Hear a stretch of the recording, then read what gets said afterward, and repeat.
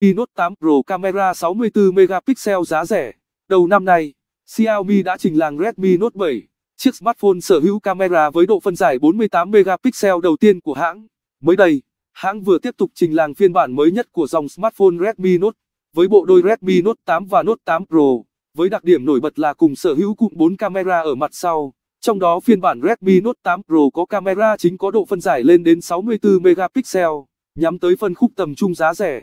Bộ đôi Redmi Note 8 và Note 8 Pro vẫn được trang bị một cấu hình khá ấn tượng, trong đó phiên bản Redmi Note 8 sở hữu màn hình 6,3 inch, độ phân giải Full HD+, bên trong là bộ vi xử lý Snapdragon 655.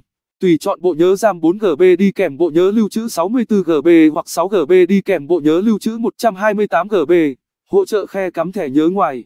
Mặt sau của sản phẩm ngoài camera chính 48 megapixel là camera góc rộng 8 megapixel, camera đo độ sâu trường ảnh 2 megapixel và camera chụp ảnh macro 2 megapixel. Mặt trước của sản phẩm là camera selfie 13 megapixel với thiết kế dạng giọt nước. Redmi Note 8 được trang bị thỏi pin có dung lượng 4000 mAh với sạc nhanh công suất 18W, jack cắm phone 3,5mm và cảm biến vân tay nằm ở mặt sau.